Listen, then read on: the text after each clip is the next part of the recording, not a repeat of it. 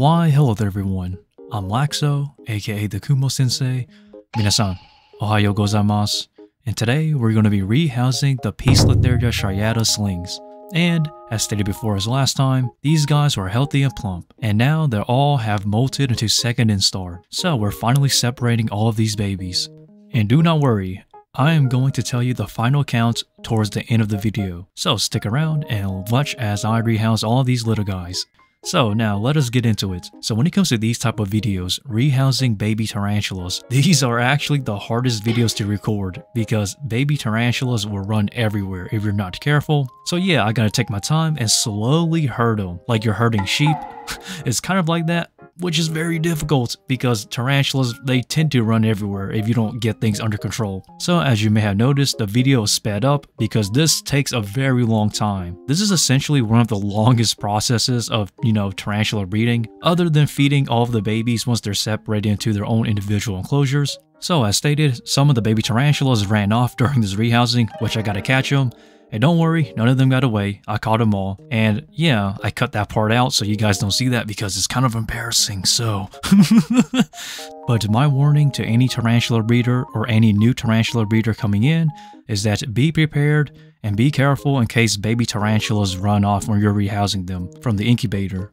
Now, when it comes to how many I'm keeping in terms of separating all of these babies, Honestly, I may just keep around 5 of these little guys and just sell the rest away or try to find them new homes because I already have a lot of females and already have some males already of the species, which is how easily I got this breeding project going because I produced this species a very long time ago. And what I did was, when I produced offspring of this species a very long time ago, I traded some for somebody else's of the same species. So essentially, I got new bloodlines in, and that's how I got this breeding project going. So for this time around, I don't plan on keeping many of these little guys, so I think 5 would do just fine for me. And then the rest will be wholesaled off to another breeder or another retailer or something of the sorts. And then some of them will be traded in for different bloodlines of the same species. So that way they don't inbreed and cause, uh, you know, lack of genetics, quote unquote. But anyhow though, now, later on, we gotta feed these guys, which I will not feed on video because honestly, that part is kind of boring. And a lot of people do wonder how do I feed baby tarantula slings, and what I do is I just get some mealworms, I cut them up to appropriate sizes, I put them into the enclosure, and then I just let the baby sling just pretty much scavenge it and eat it. That's typically how I do it and how some tarantula breeders do it. And it's also the most cost effective way, so if you're willing to save money, or if you want to save money, the way I do it is pretty much the most efficient way of going at it. Now, if you have a lot of money to spend and you're pretty much a wealthy person, quote unquote, you can pretty much buy small pinhead crickets and just feed them off that way, which pretty much adds up over time. So I just really just go with mealworms because whatever mealworms you don't end up using, you could just put it in the fridge and then they pretty much just go dormant because of the cold temperatures being put in the fridge and then when you need to use them again, just take them out and keep them pretty warm and then they'll become active again. Then you can chop them up and feed them with your slings. And trust me, it is very cost effective and you're going to be saving yourself a lot of money. You'll thank me later. I mean, unless you want to buy a bunch of crickets like every single week now and then, which adds up so fast in terms of how much it costs to feed these little guys. So mealworms is my choice to go to if you're trying to save money. And I know a lot of tarantula breeders, especially those that are pretty much reputable or those that have a lot of money to spend, they buy crickets but what us private breeders do, we just mainly go with the mealworms because it works better in terms of saving money for us. Now I did make a video a very very long time ago on how I feed baby tarantulas and maybe for next week I'll do an updated version with better video quality quote unquote. It's still the same method from last time but maybe just an updated version and with commentary this time around so I can explain it better I guess. But I don't know. It's honestly not a very uh enjoyable video It's more so of an informative video on how to save money, on how tarantula breeders actually feed uh, baby tarantulas while saving money.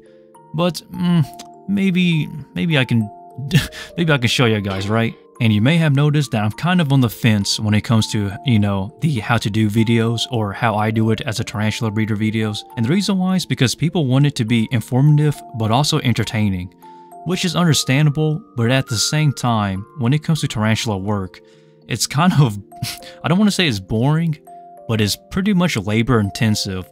So it goes one way or the other. Now, for me, I enjoy every single aspect of it, which is why I do it.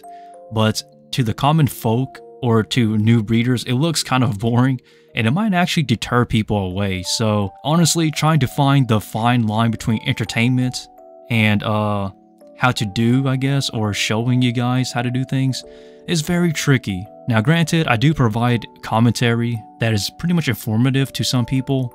So hey, maybe maybe that's the key of entertainment, right? Just have fun and then explain things informatively while showing you guys as well. But anyhow though, let us jump right back into this tarantula separation video. So after this, I'm very tired. As a matter of fact, I've been tired for like the past week or so because a lot of things have been happening in my personal life which is honestly kind of exciting and kind of uh, what's keeping me busy from doing more tarantula stuff. But don't worry everyone, I'm gonna find time to create more videos because that's what I always do.